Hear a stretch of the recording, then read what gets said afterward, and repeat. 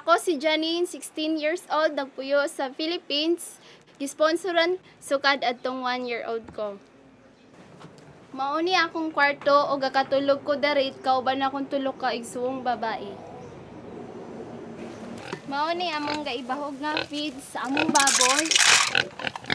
O para mandagko sila og napod may gamay nga income pag dagko na. Tapos ang ako pong daghan ang kabatanunan nga na-involve sa drugs sa among komunidad ug tungod sa child fund nga activity nahimo kong busy ug may pahilayo sa kadaot.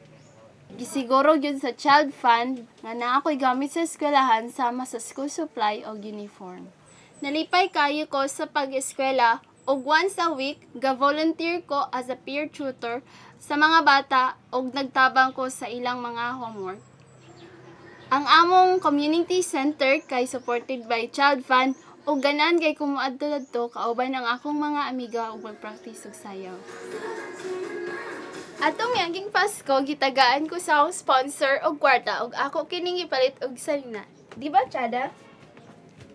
Swerte kaayo ko nga na ako'y sponsor nga naa sa laing nasod ug amiga nga nagsuporta kanako. Dagan kayo salamat sa akong sponsor nga nagsuporta sa ako ug nagpaambit sa iyang gugma sa ako ug sa akong pamilya.